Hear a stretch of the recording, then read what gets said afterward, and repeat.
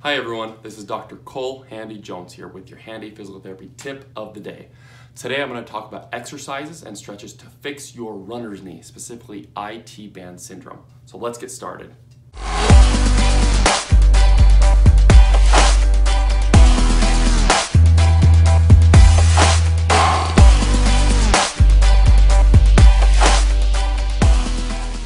So if you're following my runner's knee series, remember to watch the one that I did just last week.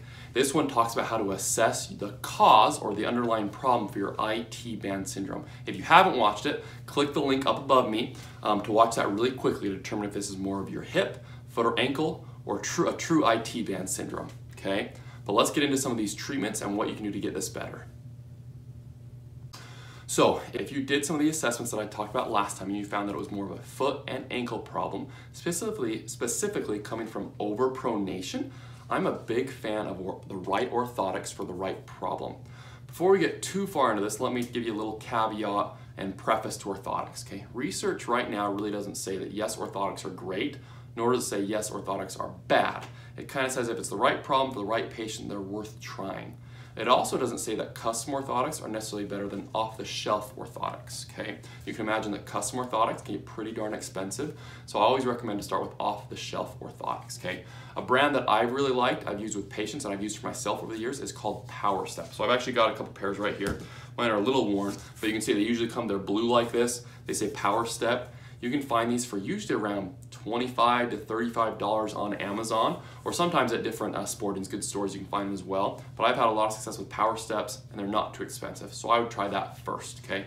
What the orthotic is gonna do, it's gonna take your foot that has that flat over pronation and it's gonna just lift it up so the foot can support itself better, therefore your knee is better supported.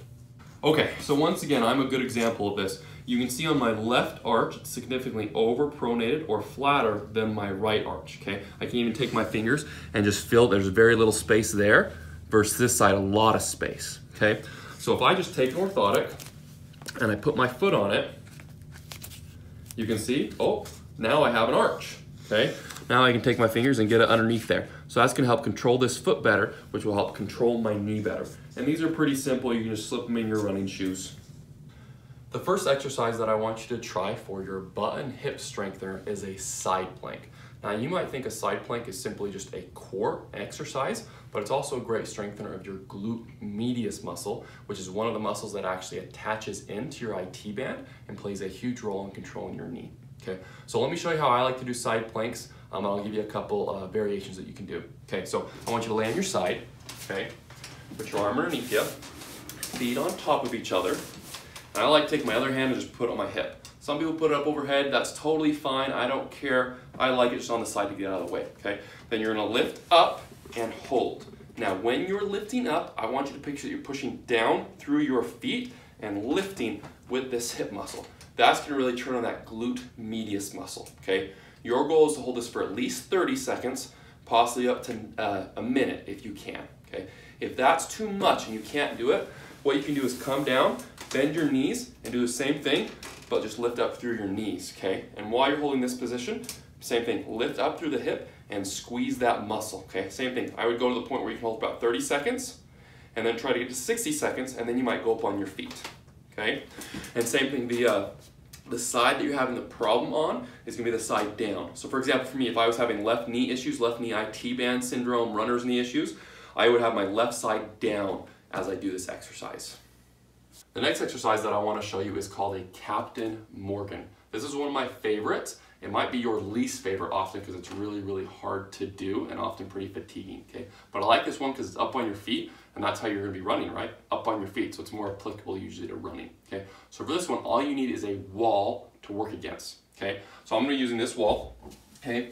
Same thing, your, this is good to do on both sides, but especially your affected side needs to be the side that's away from the wall. So for example, me, it's my left leg here, okay? I'm gonna take this leg and I'm gonna turn it about 45 degrees out with my toe. So I want you straight ahead, turn about 45 degrees out, okay? And you're gonna be roughly a foot or so from the wall, okay? You're gonna take your other leg and you're gonna lift it up about 45 degrees, okay? And I am gonna try to push over the wall, okay? I'm gonna hold for about 10 seconds, okay? and then I'm gonna relax. So the movement that I'm trying to do, if you can picture me having a wall right here, I'm trying to do this, as well as I'm trying to do this. So I'm trying to push my hip through the wall, okay? When I do this movement, okay, so I'm trying to push my knee outwards as well as try to push the wall over, okay? I really feel the burn and the squeeze right here in this butt and hip muscle, okay? I like to say hold this one for 10 seconds and do 10 reps. So hold, then relax, and you're gonna go back up and go again for another 10 seconds, okay? Most people love and hate this one because it's such a big burn here in the butt and hip muscles. So give that one a try. The next exercise that I wanna do is a great multifactorial exercise, meaning this one you're gonna work on movement coordination, you're gonna work on butt and hip strengthening, and you're working on balance all in one, okay? So this one is a single leg Romanian deadlift, or RDL for short. So what you're gonna do is stand on one leg, and the leg down is gonna be your affected side. So same thing. If I'm having left knee pain, my left knee is gonna, uh, my left foot's gonna be down. Okay. Stand on my one foot. I'm gonna take this foot. And I'm gonna try to grab the ground with my foot to create foot stability there. Okay, and create that good arch stability that we want. Okay. While holding that position, I'm gonna lean straight forward, and then I'm gonna come back up. Lean down, and I'm struggling a little bit. Let me do it one more time. Down and up. So I hope what you can see is my hips are staying relatively square. What I see a lot is when people go down and they struggle with this side butt and hip strengthening, they open up like this. Try to keep that down. Okay, so let me show you from the side here. Grab the ground with my foot, okay? Contracting my left butt and hip muscles. I'm gonna lean straight down and then back up okay? If you're finding that you have a really hard time getting a feel for it, what I usually tell people to do is if you can grab uh, a longer cylinder type thing, so you could use something like um, the longer wrapping paper that you use to wrap presents, you could use a golf club, you could use a broom, something like that. If you just put it on your opposite foot and then go like this, it helps clean up a lot of form type things. So you can try that if you're having a hard time kind of getting a feel for it, um, and it might help out a little bit. I would do two rounds of 20 reps morning and evening if you can.